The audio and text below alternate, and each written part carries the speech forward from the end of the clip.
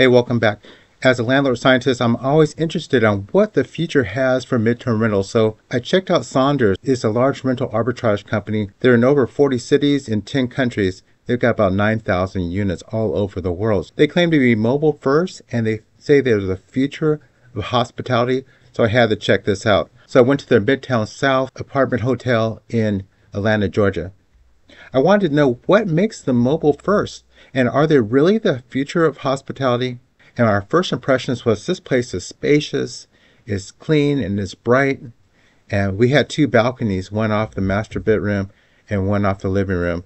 So I organized my thoughts and I want to discuss four pieces of tech that they use and see if it lives up to the hype. And I finish with a roundup of best practices that you can use to improve your guest experience and also reduce your expenses. So you really want to stay around to the end. Okay, first, there's keyless entry, just like all of us have but this was a, a, little bit beyond that. And for us coming to an apartment hotel, it was nice not to have a front desk that you had to check in. By the time we got there, it was two in the morning. And I've shown up at two in the morning at other hotels and they had given away my room, they had canceled my reservation, or they had to be on the phone talking to their main office to get me checked in. So it was really nice to have a code that I could use to skip all that. So what we did, we were in our car, we rolled in, and then there's this gate to control our access to the parking lot. So we enter our code there. And then to the elevators to, to take us up, we enter our code there to have access to the elevators. And when we're at our front door, we enter the exact same code to get into our front door. So we were feeling very good. We were feeling very safe in this place that we had never been to before because they had all the security in place. Not just anyone could get to us. Once you memorize your code, then you're going to have a really, really good time because you don't need any keys. There's no fob or anything to pass out, or even having that key demagnetized on you, which I really hate. Okay, next up is the app that they have on their phone. I thought this was really, really good. It's super, super clear to and easy to use. It, it gives you access to a mobile concierge that's open 24 hours and it has great information about the place you're staying and it lays it out nicely. Remember, there's no front desk, but there is concierge service, and I'll tell you more about that in a second. But on the app for my unit, I had the Wi-Fi password is great. All the other pricing options that was really really clear. I like how they show you your price for a studio, a one bedroom, two bedroom, and then it very clearly shows you the different discounts they have for 7, 14, 30 and 45 day stay. So you can calculate your, your bill really easy. Also, they, they have on the app a place where you can select for your Uber or your Lyft, and I'm sure those are affiliate links that give some that back end revenue to them. That's very, very smart.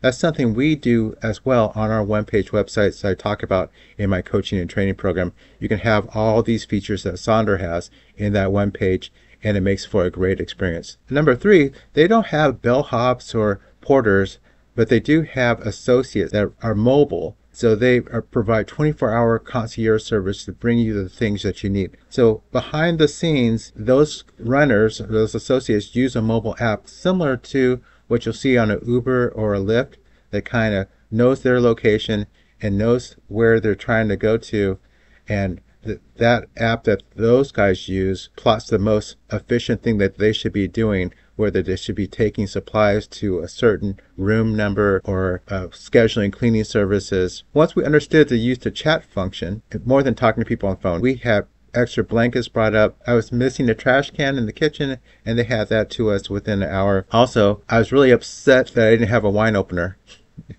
so they got that to me in an hour as well. I wish that they would have had their units better stocked up, but they said they have been having problems with theft, so I'm going to give them the benefit of the doubt. But the runners were very helpful, and it was great having a person that we could talk to give us that human feeling. Okay, number four is the low tech item, which is the supply cabinet. On various floors, they have this common area where you could go and you could pick up toilet paper, extra coffee, trash bags, things like that.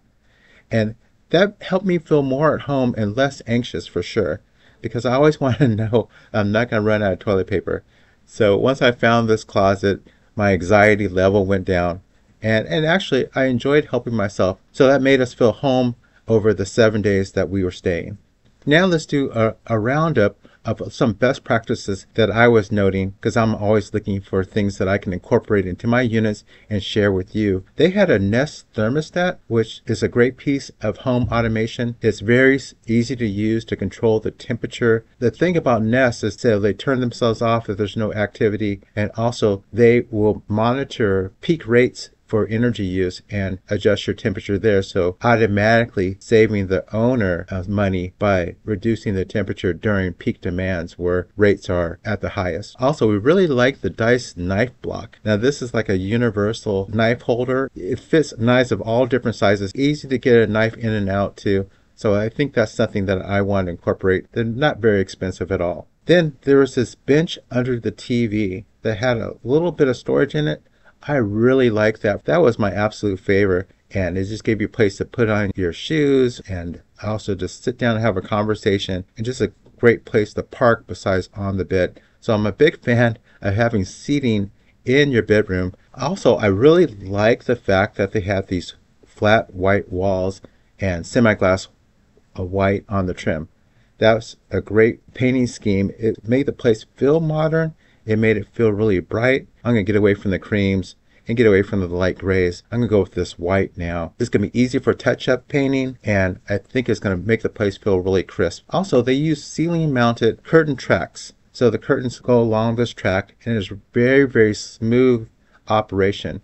I like that much better than rods. Actually, I learned that they can hold more weight than rods so you can have even heavier blackout curtains. And I want to get away from blinds as well because my even with my vertical blinds, they're always getting pulled off and my horizontal blinds are always getting bent and kinked because my windows are so wide. So definitely I'm going to move towards track mounted curtain. Well, there you have it.